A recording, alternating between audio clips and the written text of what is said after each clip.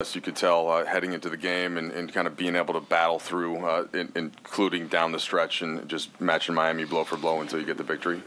Um, mindset um, before the game, just make uh, them play at our pace, um, which I thought we did a great job of the entire game. Um, we defended very well. Um, you know, played them better. Um, kind of how we ended the game in Miami. I thought we came out tonight with that um, intensity, which was good.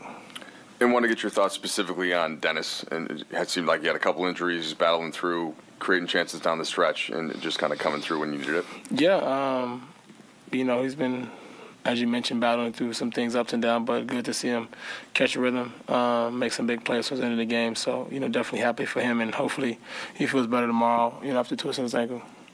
Dan. Uh, Russ, two questions. Um, one, how's the foot? I know that's been something that's been lingering a little bit. Good.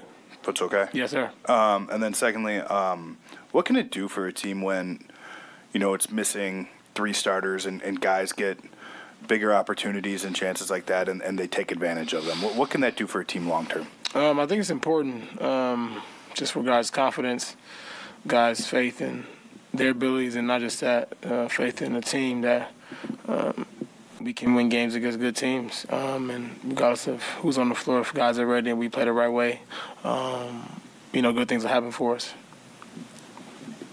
Okay.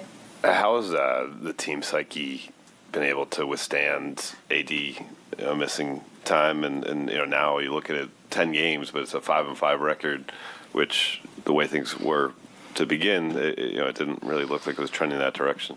Yeah, um, I think just taking day by one day at a time. I thought we did a good job of finishing the road trip, which is beneficial. Just trying to find ways to um, making sure we're playing hard, competing, and then figuring the rest out. You know, throughout the games based on who we're playing, and um, you know, trying to gain some momentum until um, you know AD and the rest of our guys come back.